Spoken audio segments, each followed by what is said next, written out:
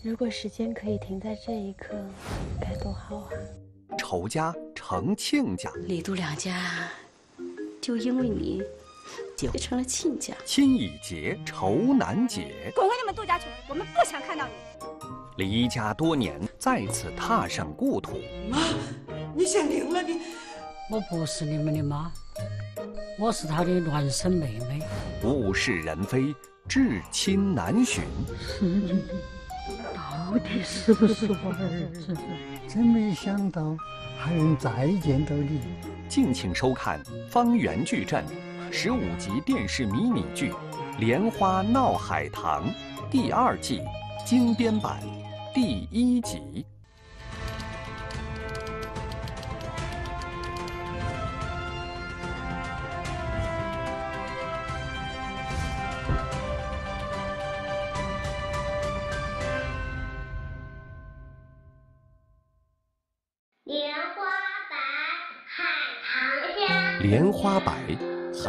香，杨柳河畔鸳鸯忙。如果时间可以停在这一刻，该多好啊！连理结，愁难断，两家争闹，儿女伤。爸，我该怎么办啊？情难了，事业伤，壮志未酬，独彷徨。看到你这么幸福，我是该放下了。恩怨事，误解消。齐心协力共奋斗，我放大的不会再做辜负你的事儿。莲花依旧闹海棠，方圆矩阵十五集电视迷你剧《莲花闹海棠》第二季精编版。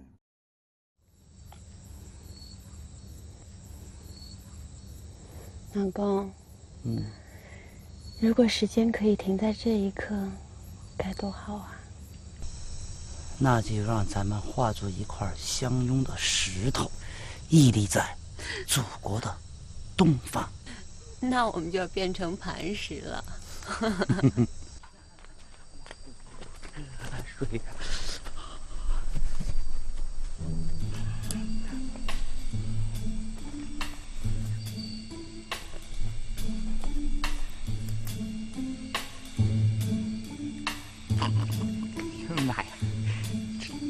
海龙还还还靠这口呢，这口味够重的呀！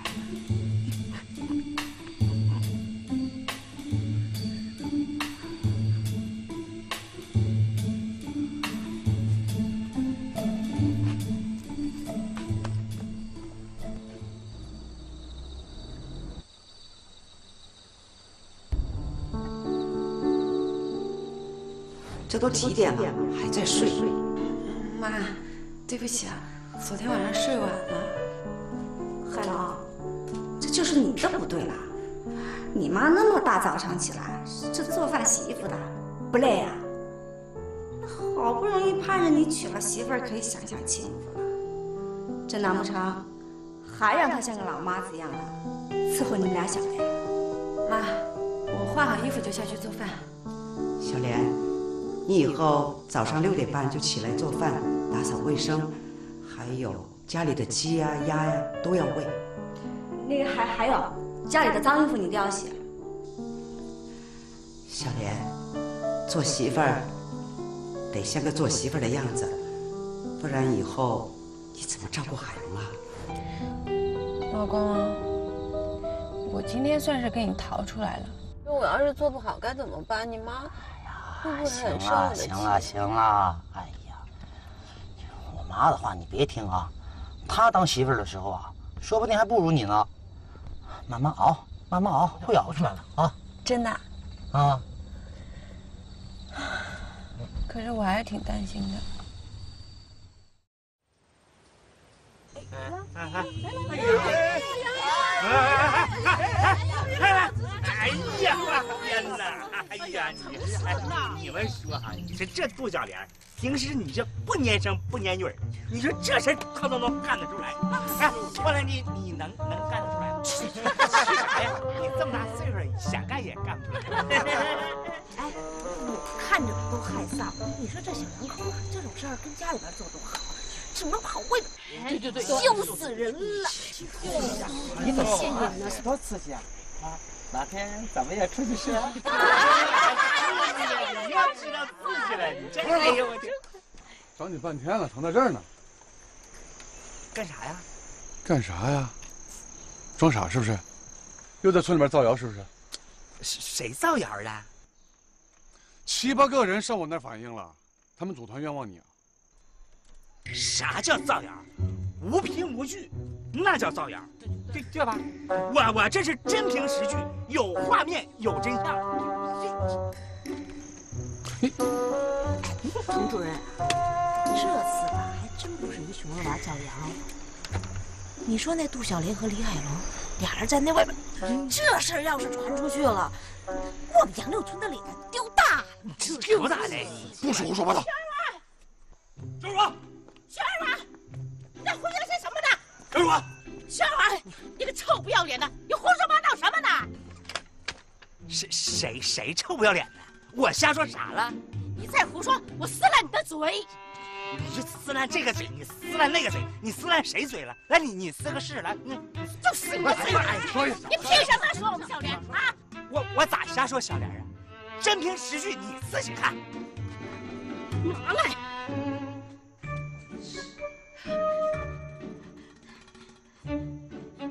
你把它删了！不删，凭啥删呢？败坏杨柳村的风气，我我就要让大家知道知道。你删不删？不删。你不删，我跟你没完！你臭不要脸的你！臭不要脸的你！我少说两句。怎么回事？又跟人吵架？我吵架？你呀，你这死孩子，你把我的脸都丢尽了！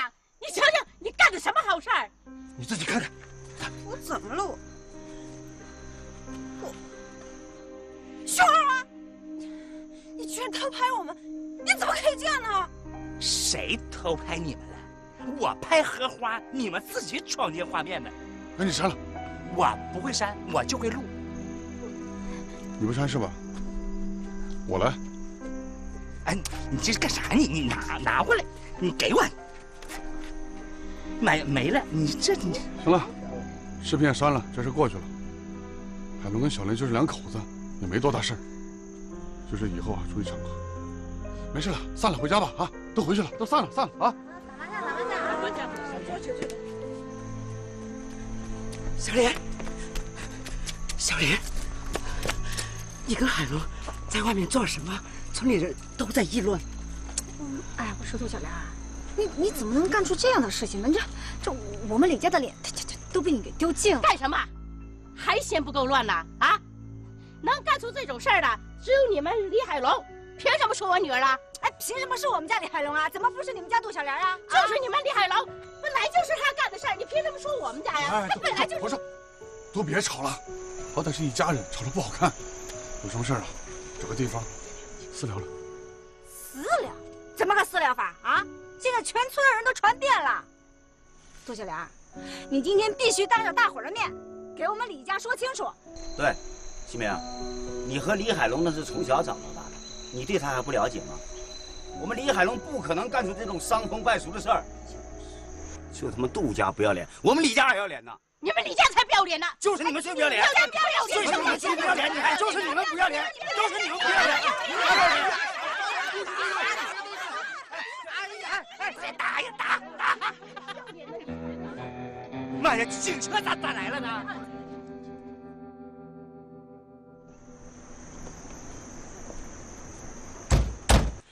哎哎，西明，你不是给删了吗？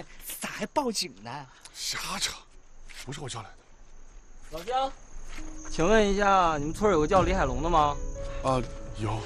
你们找他有事儿啊？啊，我是杨柳村的村主任，有什么事儿你们可以跟我说。李海龙涉嫌一桩烟酒走私案，呃，我们来找他了解点情况。走私？警察同志，什么走私案呢？哎，李海龙又干什么歪门邪道了？妈，走私这可是大罪呀！哎哎，警察同志，得坐牢的吧？肯定的。呃，同志啊，是不是你们弄错了？行了，主任，你知道李海龙在哪儿吗？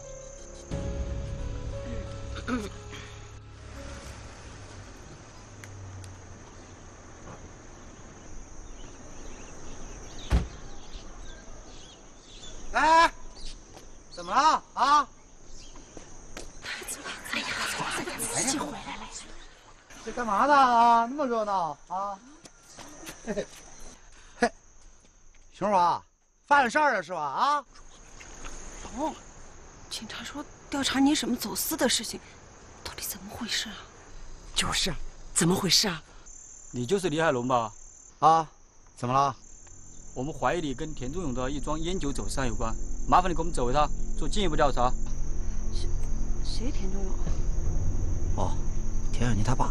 田小妮？田小妮？哎呀，警察同志啊，你们是搞错了吧？我儿子怎么跟人走私呢？他不会的，他肯定不会。妈，行了，甭解释了啊。哎呀，不是海龙，又不是一次两次了，哪次不是清清白白的回来啊？啊，走吧。哎，等会儿。同志，我能陪他去吗？我也去。哎呀，行了行了行了，忙你的去啊！我什么人你还不了解啊？海龙。哎呀，老婆别担心啊，你呢，回家把鸡汤给我炖好，晚上我就回来喝啊。哎，行了行了行。儿子，哎，行了没事，走吧走吧走吧走吧。海龙还能出来？应该没啥大事。行了行了，海龙就是配合调查，一会儿就回来了，都不要去瞎耍啊！没事了，大家回家吧啊！散了。啊，打麻将打麻将啊！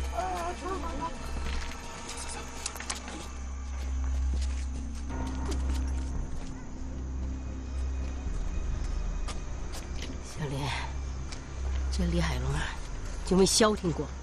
当初妈真不该同意你们结婚。哎呀跟妈回去吧，这李家没一个善茬，说不定把罪过全怪在你身上。亲家母，哼！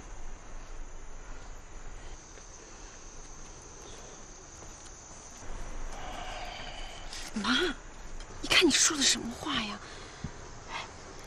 算了，我回去了。海龙他妈妈肯定很担心。哎呀，你给我回来！你就等着挨骂呀你？傻呀你？我我跟你回家干嘛呀？我是李海龙的媳妇儿，我得回李家。哎呀，小莲，听你妈一句话吧，跟我回去。爸，你怎么？行了，妈，你怎么不讲道理呢？赶紧回家！哎呀，丫头，丫头，小莲，小莲。海龙啊，你这是为什么呀，海龙？哎呀，我说大嫂，你就别念了。这海龙也是，一点都不争气。大嫂，你也别着急，说不定这就是个误会。过两天呢，海龙就回来了。妈，妈，你没事吧？我说，杜小莲，你还有脸回来呀你啊？你看看你，你把我们这个家都搞成什么样子了？我们海龙就是因为娶了你这个扫把星，他才会出事儿的。我问你。你带着我们家海龙都干了些什么呀？就是啊，这丢不丢人呢？事情不像你们想的那样。那是哪样啊？啊，你看看你，你才过门多久，搞那么多事情出来？这本来我们家海龙还好好的，那现在人也被抓了。我说当初就不应该娶你进门。都说杜家的女人碰不得碰不得，一碰就倒霉。滚，滚回你们杜家去，我们不想看到你。慧芬。哎呀，大嫂，你别管，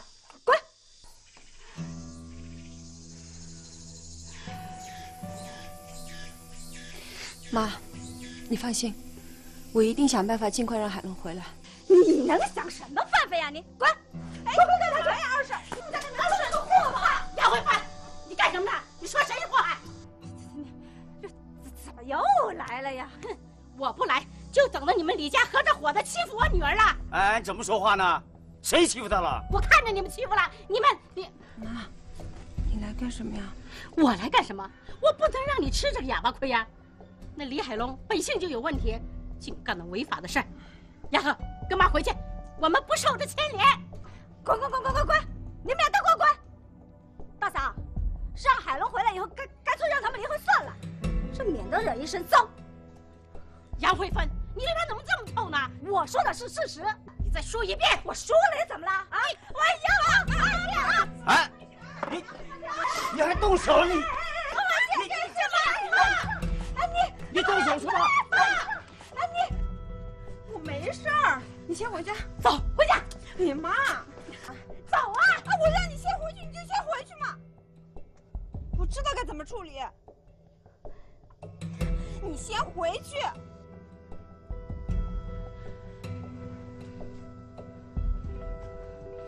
我警告你们姓李的啊！要是再敢欺负我女儿，我跟你没完！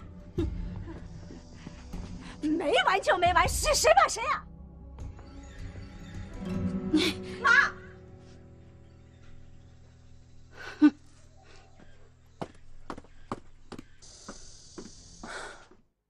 一年前你是不是在城里给田小妮父亲的厂子运输货物？对，我在田老板那儿打工，平时给他送货，一般都是送基材一类的。基材？怕不只有基材吧？秦南同志，我李海龙虽然平时油嘴滑舌的，可我干的都是正经事儿啊。这几张照片你可有印象吧？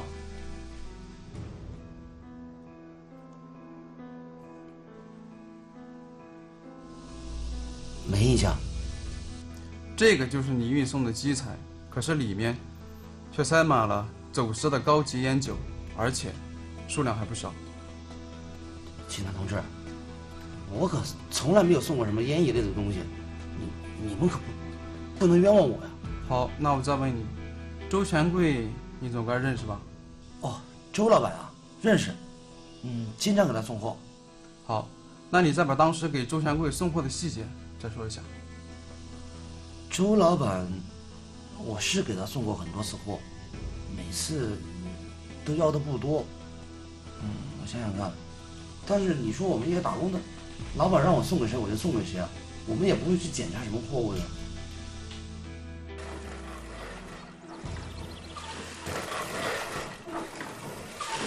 哎，大力，你别摇了，闹得我头疼。哎，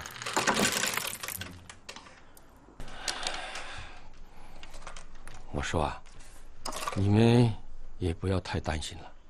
警察都说了嘛，带李海龙过去，只是调查调查，又没定他的罪。定罪？哎呦，定罪那还得了啊！走私，走私那可不是什么小罪。妈，我相信海龙，他肯定没做过这种事儿。我真不该答应他们的婚事。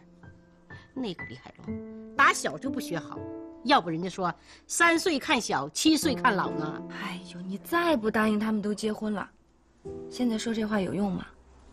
小莲说了，这个事情交给他处理，你就让他处理嘛，瞎操心。哎，新民哥，现在该怎么办呢？小莲，别着急，我现在马上去城里打听海龙的情况。那那我跟你一起去。行吧，走。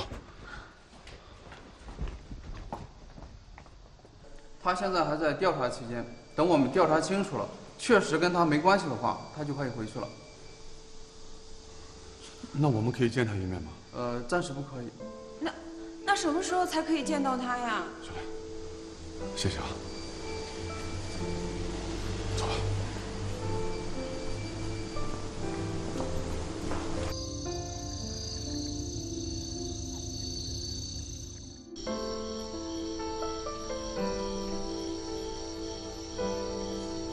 一天到晚坐在这个门口，这半死不活的，像什么呀？哼哼哼，哼什么呀哼？烦死了！哎呀，理解理解。有的话你儿子呢？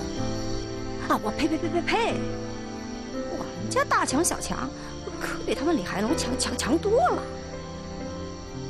是是是是是。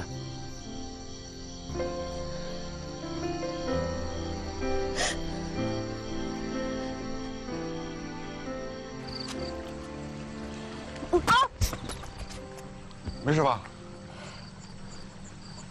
能走吗？慢点，慢点，我扶着你啊，慢点走，来。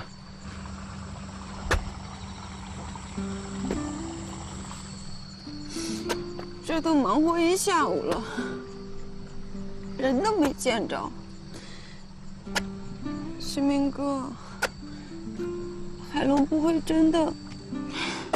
别胡思乱想，海龙不会有事的。我现在真的不知道该怎么办了。小莲，你也不要太着急，我相信海龙一定不会干那些违法乱纪的事。可是新明哥，我真的好担心啊！我跟海龙呢从小一起玩到大，我了解他，他的事呢就是我的事儿。回头啊，咱们再好好想想办法，啊。嗯。来，注意啊，慢点。嗯。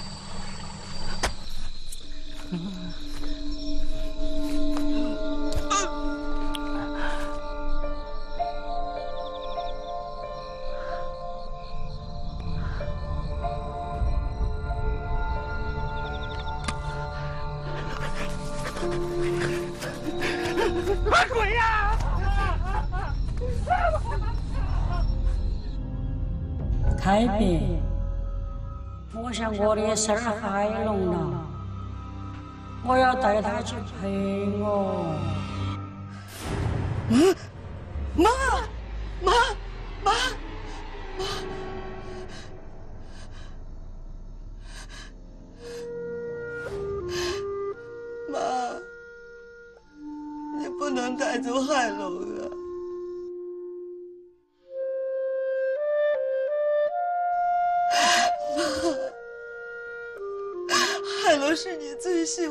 孙子，你喜欢他，就要保佑他呀，妈。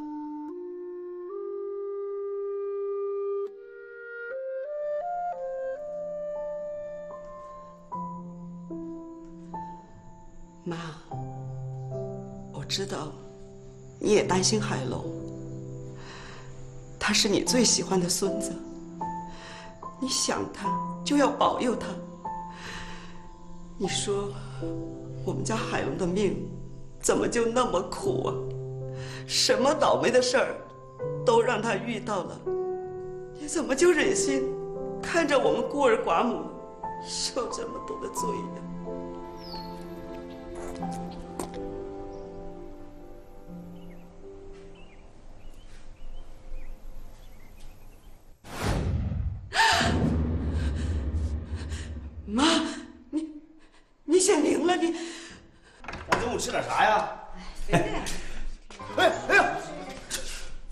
你啊！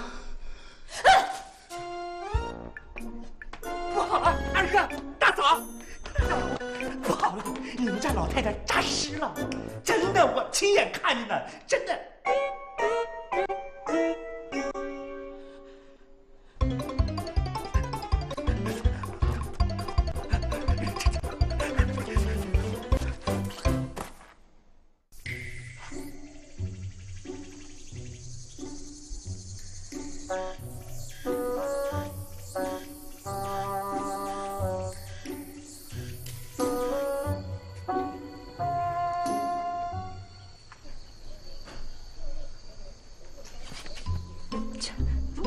是说那个鬼都不敢白天出来吗？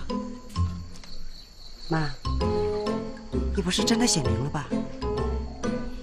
那，你到底是人还是鬼呀、妈？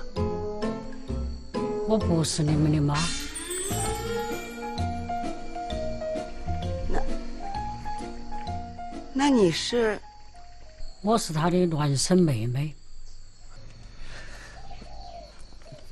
经鉴定，应该是个人。不，我妈孪生姐妹，我怎么没听我妈说过呀？哎，我我也没听婆婆提起过呀。你觉得有假？像，真的是很像。不是，确实是像啊，真像。看这样子，也不像是怕我们这样穷亲戚的哈。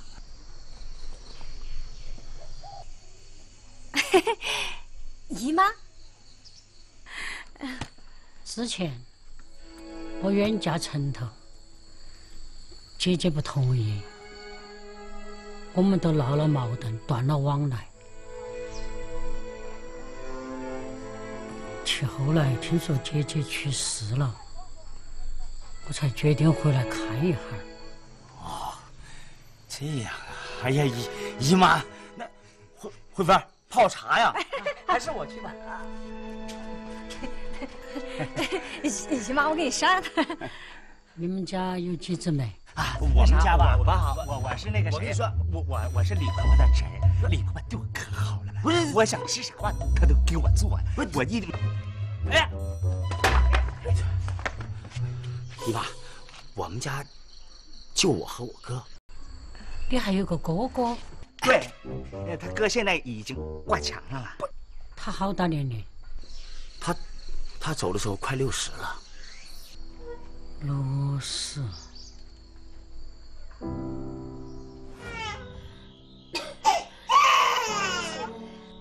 我求求你了，你一定要照顾好我儿子。你啷个恁个哈嘛？你为啥子要恁个作践个人呢？姐，我从来都没有求过你，你就答应我嘛。我都活不到好久了。哎，不要乱说。好，好，好，我答应你，我答应你。难不成我的儿子都是？姨妈，您喝茶。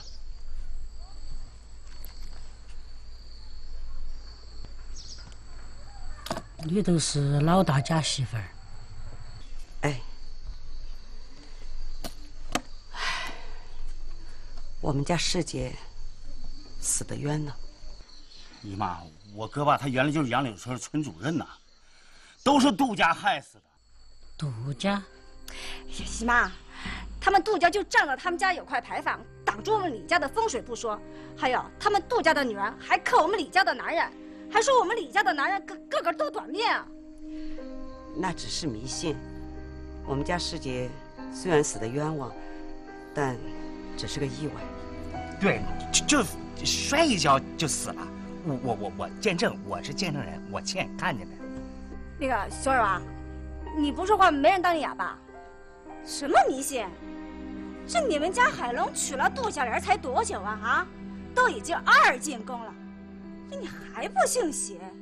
姨妈，你是有所不知啊，那李杜两家那是世代冤仇啊，他们家那可是李海龙的杀父仇人呐，可李海龙偏偏娶了他们家小女儿。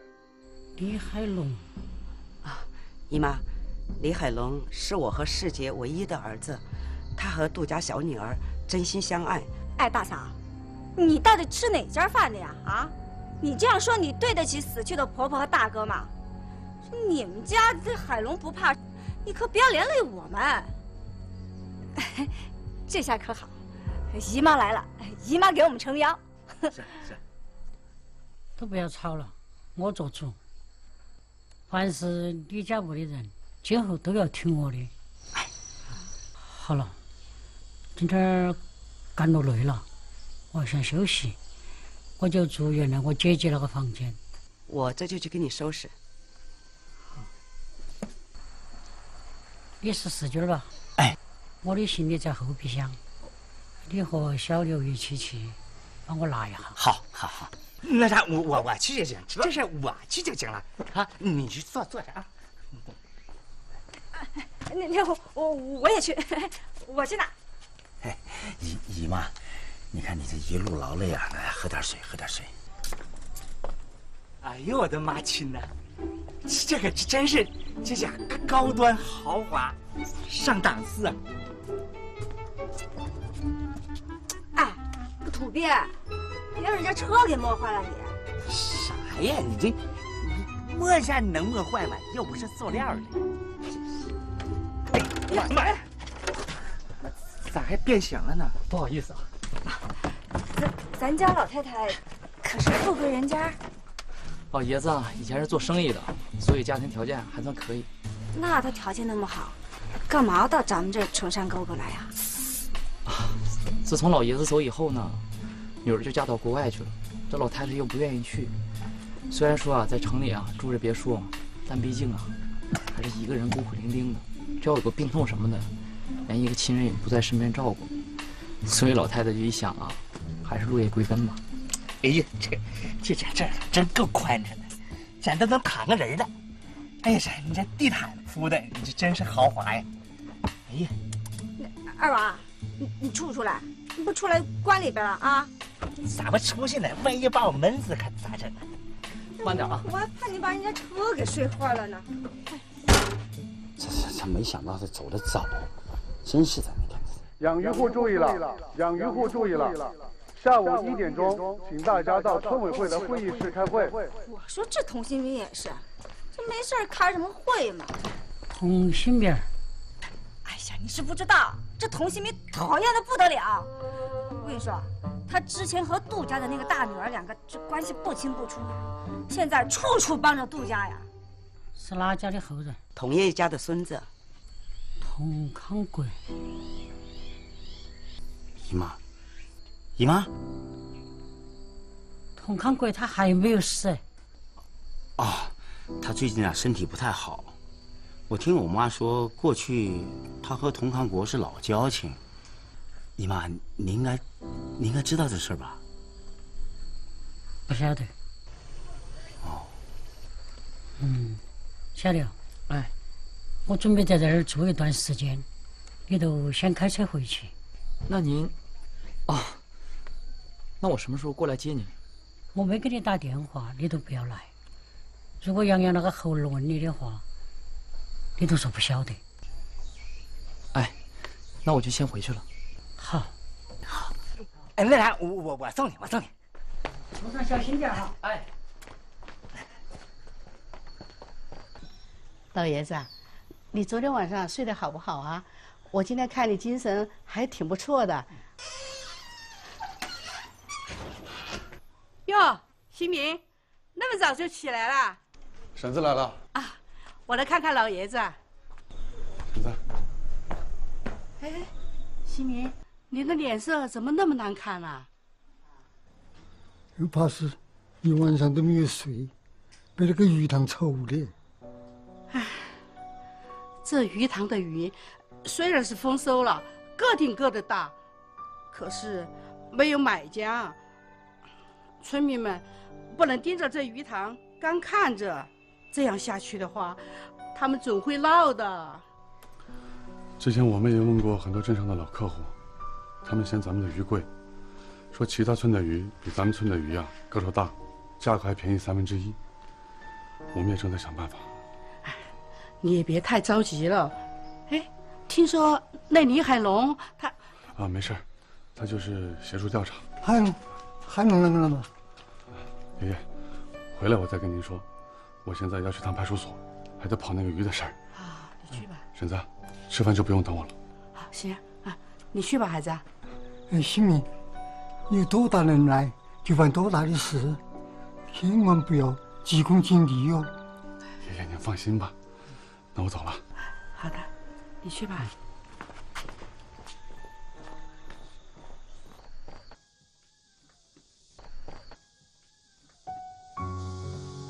姐，没想到我们再次重逢，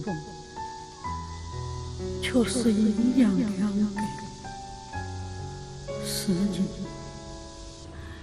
到底是不是我儿子？到底是不是啊？我那次回来都是想认亲你，但是没想到你都那么走了，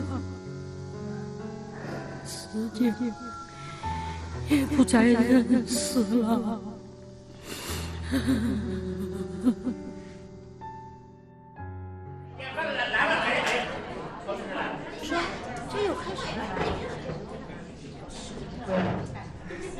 好了，大家安静一下啊，开会了。呃，今天召集大家来呢，还是为了鱼塘的事儿。雨季马上就要来了，咱们一定要做好防汛工作，不要像去年那样，大雨一来就把鱼塘给冲垮了，到最后啊，大家损失惨重。童主任，防汛防汛，这说白了还不是得要钱吗？就是，哎呦，这鱼都没卖出去，哪儿来的钱呢？是啊，童主任，咱家那些鱼还在家里。所以，所以今天才把大家请过来，集思广益嘛。大家有什么想法，有什么建议，都可以提出来聊一聊。钱的事呢，我们会想办法。摆出去，再想办法也没用啊！这村委会都想不出来办法，我是怎么想的？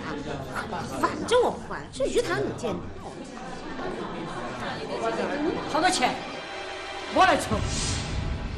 这这不是你你出吗？老爷子，不对呀，这大白天的，该不会是在闹鬼吧？别怕，大家都别怕。这位老人家不是我王旭的婆婆，她是我婆婆的孪生妹妹。是你兄儿妹，你没有事。别干事，快拿起个凳子。用不着。洪主任，继续，继续。哎哎，咱们怎么从来没有听说过李伯伯家里还有个孪生姐妹呀？是不是？没听说过这事。呃，是熊婆婆。我代表杨柳村全体村民。欢迎熊婆婆回到杨柳村。好，谢谢大家，谢谢大家。哎，杨柳村啊，我都几十年没回来过了。杨柳村的变化真大呀，我都找不到路了。要不是村口那个牌坊，哈哈哈，童主任，那么多年了。杨柳村儿，啷个还有啷个落幕的牌坊立在村口啊？就是。哎，我说你们李家这是不是闹哪一出啊？这是？自个看吧。熊伯伯，这牌坊啊，现在已经是文物了，也算是我们杨柳村的一道风景线。啥风景线？我说那是愚昧。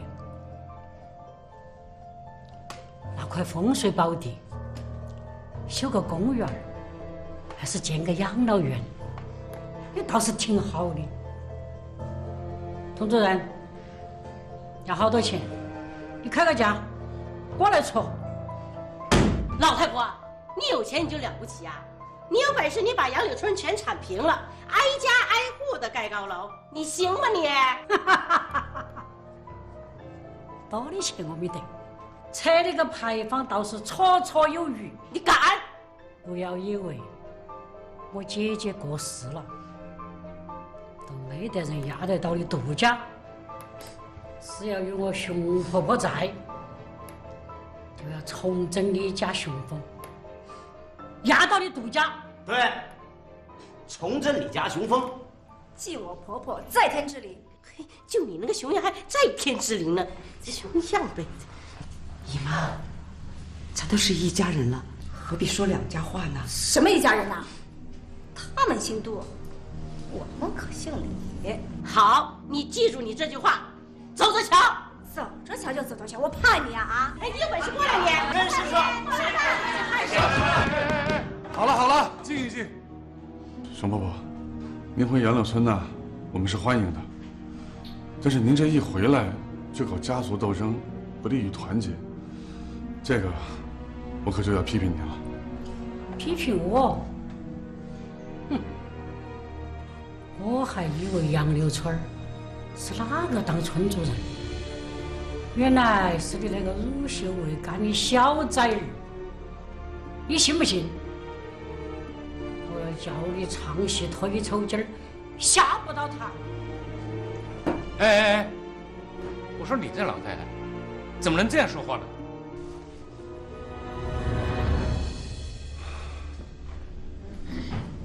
熊伯伯，有句老话说得好，“家和万事兴，现在李杜两家都结为亲家了，何必闹得不愉快呢？哼彭新明，有什么好说的？他既然要和我们杜家势不两立，那就尽管放马过来。我怕了你这老东西不成？放不就放马，我怕你啊啊！过来你！算了算了啊，看在小莲的面子，算了算了。算什么算呢？哼，算我瞎了眼，把我们家丫头嫁给这样的人家。岂止是瞎了眼，简直啊！杨慧芬，你再说一句试试。我说了怎么样啊？你有本事咬我啊你！你过来，我撕烂你的嘴！行了，彭新明，你杜娘家的事，哪个都可以管，倒是你姓童的不能管。熊二妹，老爷子，你怎么了啊！老爷子，别生气。哼，我们走。哼，走什么走啊？有本事你放马过来呀！老娘等着呢。我怕你啊啊！放马就放马。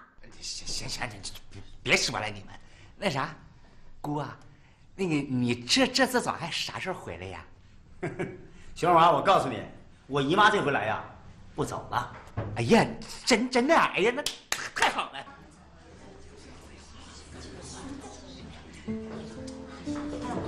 这个会改天再开吧。散会。熊二妹，等一等。李姨妈，你认识他？你们先回去嘛，啊，呃，先回去。熊二妹，真没想到还能再见到你。到底，到底啷个回事儿啊？你不要再问了，我不想再提过去的事情。熊二妹，你不要弄得好像我们两个很熟一样的。你老爷子看起来身体也不太好，自己保重。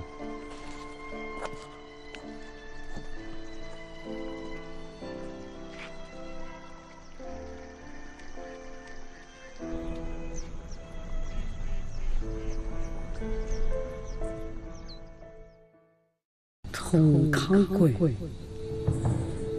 都算他死，也要让他死不瞑目。既然已经过去了，你就得把它放下，这样才能开始新的生活呀。该面对的都要面对，不管是鱼塘还是毒液。看到你这么幸福，我是该放下了。我知道童心明在哪儿，摔下来受伤了。燕儿，我好像动了天气。在手术单上签字吧，两个孩子可能都保不住了。这个字你必须得写。东西，我孩子呢？别激动啊！